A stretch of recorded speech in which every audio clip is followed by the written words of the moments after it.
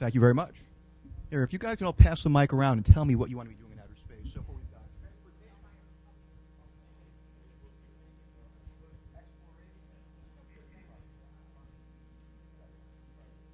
Solar budget monitoring. Solar budget monitoring. How much solar radiation the Earth gets.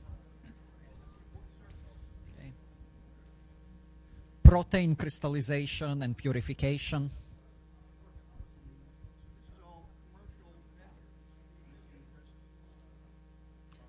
Human colonization. I guess it would be stop the asteroid and have another place to live, which is basically colonization. planetary defense. Stopping asteroids. We actually have uh, a couple of people who work on that. But does anyone here know what the job of a lawyer is? Any guesses? The job of a lawyer Keep me out of trouble. is a lot of the time, at least as people see it, to say no. And I'm going to tell all of you why you cannot do what you want to do right now. You want to provide transportation. How much insurance are you carrying for that? However much the FAA tells me I need to carry. Very good. What kind of environmental mitigation are you providing?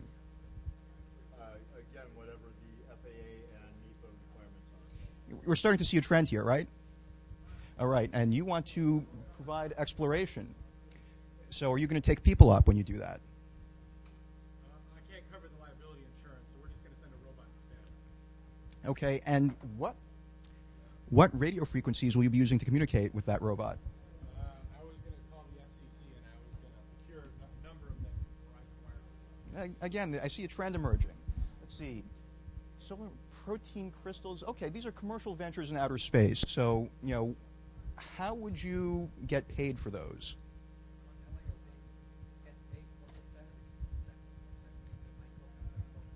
Okay. So, would you be providing these services to foreign nationals or only to American citizens?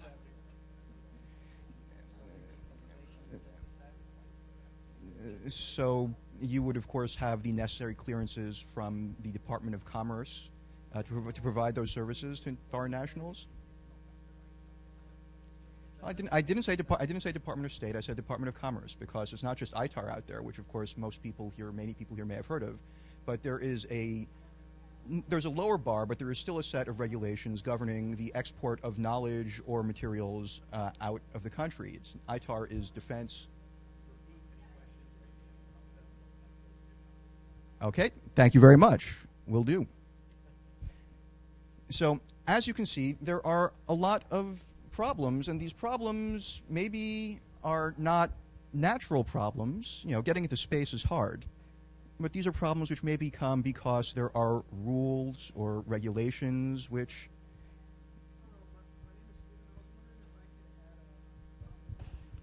Uh, go ahead. So the question I asked was, what do you want to do in outer space?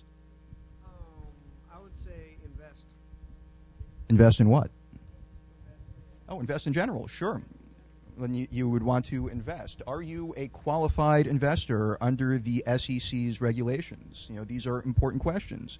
You know, do you have a what is it, a net worth of at least a, a million dollars? Does someone know what the SEC regs are? The current is a million dollars, or there's a uh, annual income that you've received over the last five years. Two hundred thousand dollars. Thank you very much. So, do you have that? Then it might be hard for you to actually do that. If someone solicited you, it would be problematic for them. Again, these are problems which come about, or, or apparent problems which come about because the government has said, no, you cannot do that. Would we be better off if the government didn't have any of these regulations at all? Any thoughts? Uh, it depends on which one's talking about. I, I actually like the FAA regulations for space launch um, because they do provide a certain amount of safety for those around the area. Um, on the other hand, ITAR is just silly. Okay, so uh, fundamentally, we have a problem. We've got some rules, some regulations, some laws, and maybe some of them are good, and maybe some of them are bad. But we don't get to just pick and choose when you've got the laws, They're on the books. They're the laws. You kind of have to obey them. You know, government kind of doesn't like it when you don't do that. Um, and we've got a current set of laws in this country which come in a variety of different forms.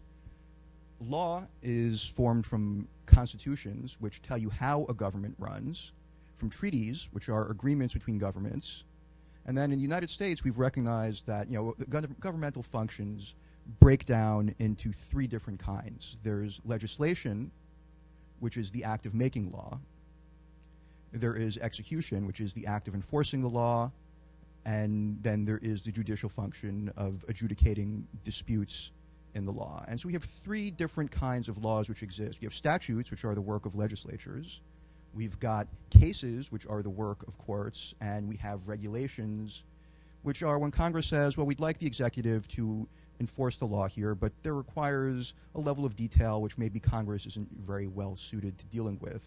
Uh, Congress can't even handle the high level stuff. Forget, you know, figuring out what the right level of, you know, uh, of carcinogenic materials in a given environment is for. And Congress just tells the president, tells the executive branch, we want to regulate this. We don't understand it. You go do that. You enforce the law. You make the law. And a regulation is, as the courts have determined, if it's within the area where Congress has told the executive to go and make a law, it's a law. You know, if the EPA is going to be regulating something which is not environmental, then that's probably not going to stand up. But if they're regulating the environment, which Congress told them to do, that's a law. It doesn't matter that Congress did not pass. They once passed a law which told the EPA go and regulate some way.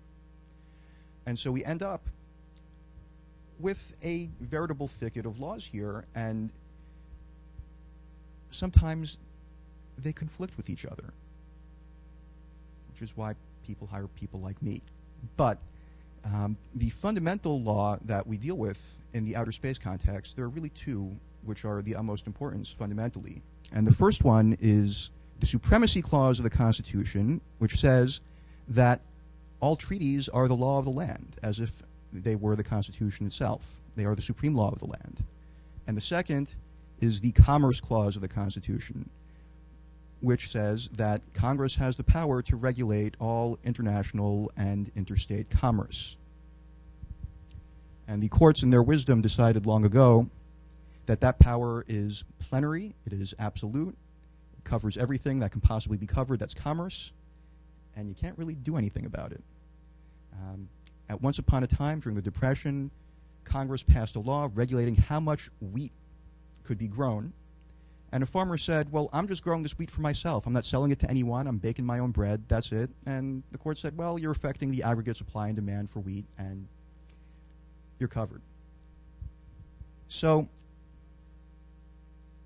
eventually, you had something called the railroad. And it went beyond one state to another state. And so you had interstate commerce that was meaningful for the first time, and Congress said, well, we'll create the Interstate Commerce Commission, and we'll give it all the power to regulate railroads. And new forms of transportation developed, trucking. The ICC said, we're going to set the rates, we're going to set the schedules, we're going to set how much you can pay people. Uh, and eventually, the ICC becomes something that we know today and love as the Department of Transportation. Uh, the Department of Transportation has many functions, including the FAA, which covers all air transportation. Now, who here owns property? Who here owns a house? You know, show of hands.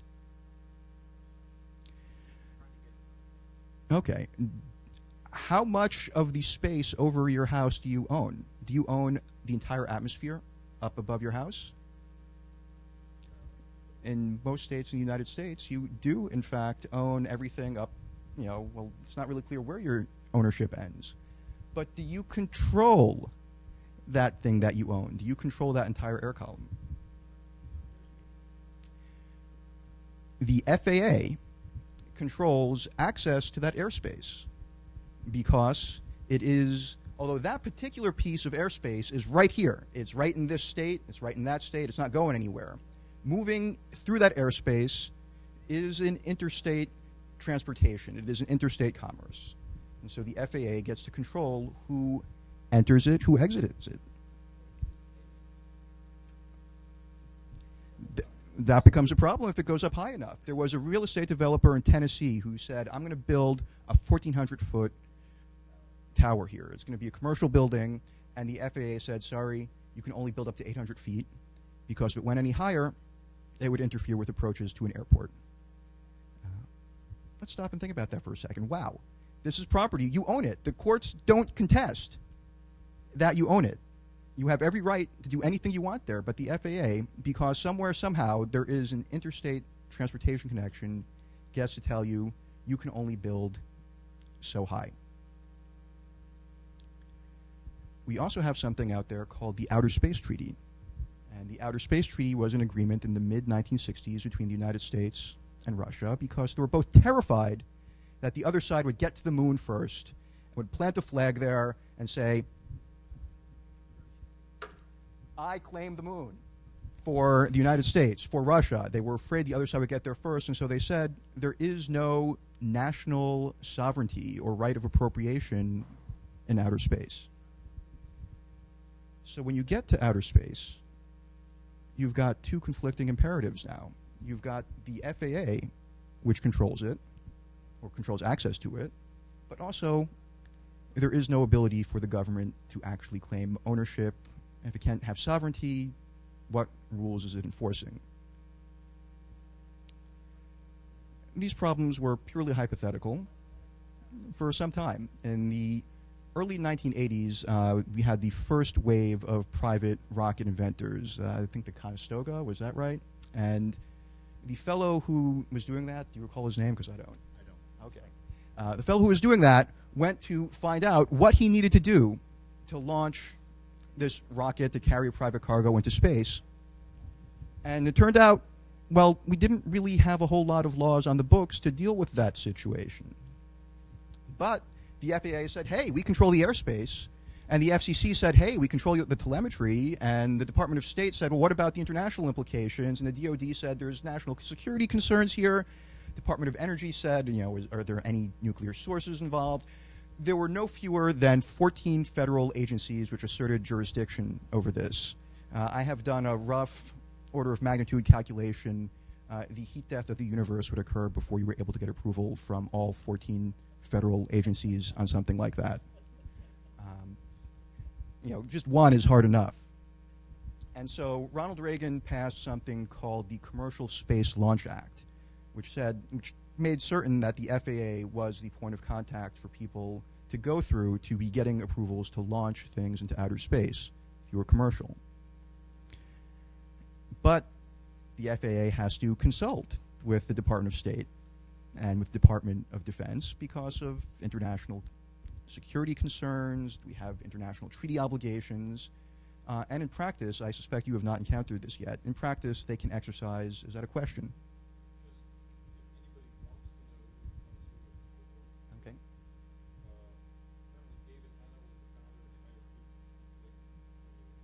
Very cute.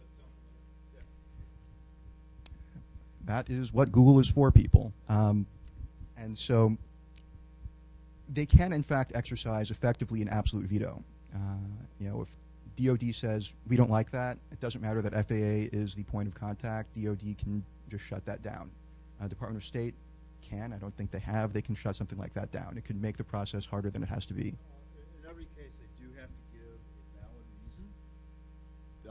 The the various departments that need to be consulted have to uh, give a valid reason and a method to work through the problem and find a solution.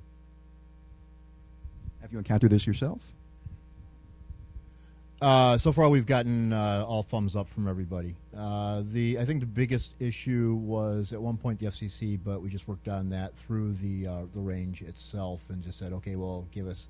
You already have these frequencies. The FCC said, yeah, we can't do anything about that. Speaking of which, I forgot to say this at the beginning. The views represented here are not those of DoD or the Department of the Air Force. Uh, that is an important disclaimer. I am not here in an official function. Um, and so that is simply what you need to do to just get something up there.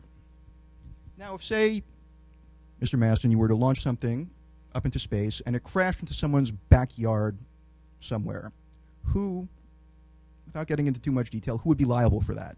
Absolutely.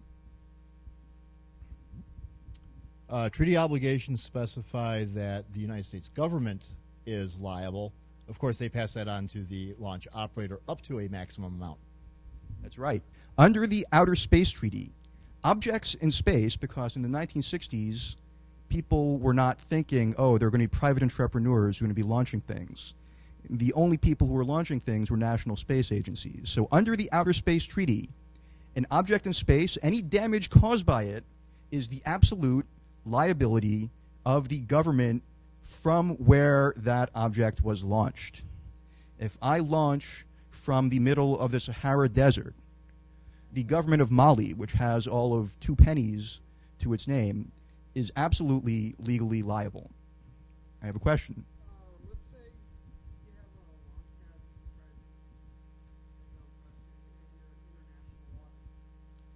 So the question is, what if we have a launch pad in international waters? Wow, that is a very good question because you are without a national jurisdiction. Under the Outer Space Treaty, that's a very good question. Uh, and potentially the answer is there's no one who's absolutely liable. But um, there would be ways around that. Um, some governments recognize that uh, any, any action by their citizens anywhere in the universe um, obligates that government. Um, in the case of the United States, does not matter where you're launching from. For example, the uh, sea launch launches from out in the middle of the Pacific Ocean and they are the U.S. government has accepted uh, liability for any damage from that vehicle. Um, and I believe the Russian government has also, or not yet Russian, Ukrainian government has accepted some portion of that liability as well. And of course, the corollary to that is they accept responsibility for their citizens doing anything anywhere because they want to collect tax revenue from their citizens doing something anywhere. So it's got a it's got a double-edged sword. exactly. But you know, of note, in those instances, that is because the government specifically said we are carrying this liability. Uh, and what's the flip side of that? That means they're exercising control over you. And in the United States, the United States exercises control over you. The FAA exercises control over your launch. If you are launching from the United States, or if you are a United States citizen or commercial entity, you know, uh, corporation, anywhere in the world from where you launch, the FAA controls you. So you can't just go to the middle of the Sahara Desert and expect to get away from having to provide the insurance and financial responsibility the FAA asks for from meeting the NEPA requirements. I don't think you get out, out of those, even if you're in the middle of Sahara. Nope, you got to meet all of those. And so there is no easy way out. And that's just getting up into space because once you're outside of the atmosphere, well, hey, right? There is no national sovereignty in outer space, so you're free to do whatever you want, right? You can do anything. You could you could murder someone, not a problem. But um, we have some precedents from maritime law which apply and which I think are codified uh, or at least recognized in the FAA regulations. You know that the FAA is exercising authority over that vessel even when it's in space. No, no. Wow. Okay. The FAA is very clear that once you achieve orbit, they ha- no longer have any jurisdiction over you, and until you are about to re-enter. Okay, that is the logical answer, but you know the law is not really a logical thing a lot of the time. So I was actually surprised, and it's rare to have someone at one of these talks who actually knows more than I do, which is why I appreciate very much having you here. So uh, the the point that was made earlier about um, uh, if it's a U.S. venture, but I'm launching from foreign soil. So the Iridium Cosmos collision, both vehicles were launched from what is now Russia, uh, but it was an American corporation vehicle banging into a Russian uh, owned vehicle. Who's who's responsible? The laws are actually not clear on that point. Now, does anyone here know what happens at sea in that situation? Uh, you know, the Coast Guard has the authority to set the rules of the road at sea, and at least in U.S. waters. And if you've got a dead vessel uh, and you have a vessel under power, the vessel under power is always liable for hitting the dead vessel because the dead vessel can't get out of the way. Uh, and that Cosmos was dead; it could not get out of the way. But there are no rules of the road for outer space yet. Now, there are some papers out there on the creation of a space guard with authority similar to the Coast Guard to do just that, to set rules of the road. But we run into this problem in the Outer Space Treaty. There is no national sovereignty in outer space, so who creates the Space Guard? Um, and, you know, people say there are parallels to exploration back, you know, several hundred years ago. You know, there were treaties back then. There was a treaty, uh, Treaty of Tordesillas in the early 16th century. The Pope said half of the world belongs to Spain, half of the world belongs to Portugal. Really simple, right? That's how it worked out. Um, uh, in fact, people pretty much ignored it once they actually started going places and doing things. And one of the things about the Outer Space Treaty is, well, people have not actually engaged in any substantial interplanetary commerce or settlement yet, and we'll see what happens when the rubber actually hits the road.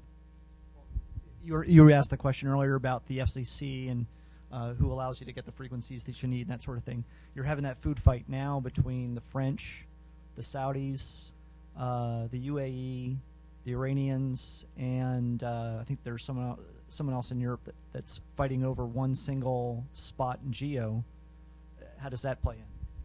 So spots in geo are also organized under a treaty. You know, it's done by the ITU, the International Telecommunications Union, uh, and because the FCC, of course, controls United States communications, uh, and if you are a U.S. citizen, it will exert control over you anywhere. But uh, for those slots in geo, people recognized early that there needed to be a forum for dealing with them, uh, and actually the organization responsible for making sure mail goes internationally became the organization responsible for making sure telephones go internationally became the organization which now also allocates slots in geo um, and this of course is a major there are major food fights right now because lo and behold the european and american and russian interests got a lot of those slots pretty early on and the rest of the world kind of feels that they got cut out of a lot of the real estate but there are slots which are reserved and which are still empty out there because of that. Cons- sure.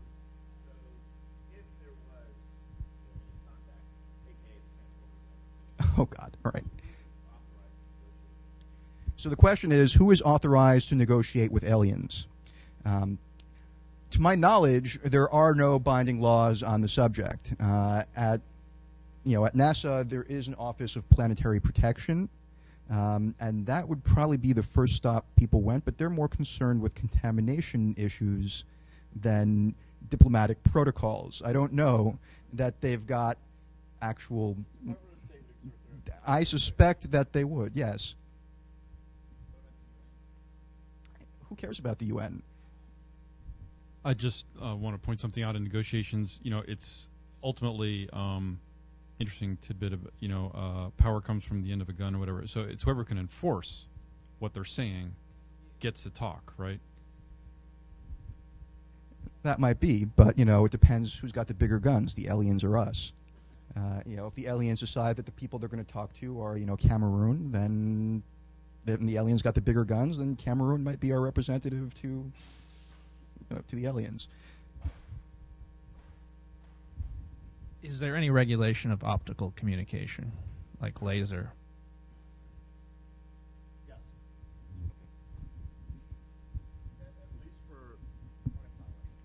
Um, so yeah, there, there's actually quite a bit of regulation. Some of them as as uh, um, seemingly stupid as don't shine a laser at an aircraft. Um, I don't think that optical communications are as well regulated in terms of like uh, radio waves, um, but there's definitely an issue that comes up uh, when trying to work out of a uh, federal range. That's interesting because, as far as I'm aware, I've only seen FCC regulations governing. You know, well, I guess a lot of them use electromagnetic spectrum as as their basis. I guess light would would, would be the electromagnetic spectrum, but I hadn't really thought of that in that context. So there you go. Sure. Well, that might that I think is an FAA reg as far as shining the lasers up at airplanes.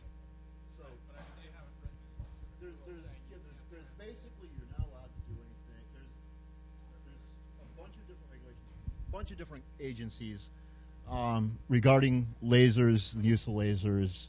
Um, a lot of it, you know, ex- like I said, except for you know, like the the obvious stupid ones like don't shine a laser at a pilot. Um, um, a lot of them you're probably not going to run into, and you could probably get away with as long as you don't harm anybody and don't cause anybody any mischief. So the weak laser from your satellite that arrives so weakly is pretty much unregulated. So the question is whether Lasers are listed as part of the safety regulations at the federal ranges. If your payload or your vehicle has lasers on board, you will have to disclose that. You will have to go through a whole bunch of safety processes with the range about the use of the laser. But if you don't launch from a federal range, if you are not launching out of that depends, you know. You know, there possibility exists that you can be doing, you know, be well, that would if you're getting supported out of Western Range, then you would have to be. Does Sea Launch get support out of Western Range? Do you know? Is Sea Launch supported out of Western Range? No. Okay, so yeah, if you are, so if you're not launching out of the Eastern or Western Ranges, which you know are controlled by the Air Force, then you get to make, you know, as whatever you might have whatever national regime you're operating under, and I don't, I, I have no idea what the Russian or Ukrainian laws are on the subject. So, um, but that would be the relevant authority. Yeah.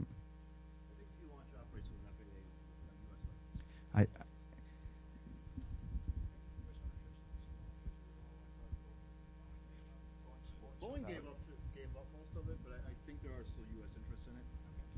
So, well, in any event, they may be changing that. All my information about sea launch is going to be. Uh, Uh, Thank you very much. I, I hope this was educational for people, and uh, I, I will have a. I might come back tomorrow if people are interested with a actually this I just did on the spot, but I have a presentation on ethical considerations and regulation of corporate activity in outer space. I can bring back if people are interested in that. Okay, cool. Thank you very much.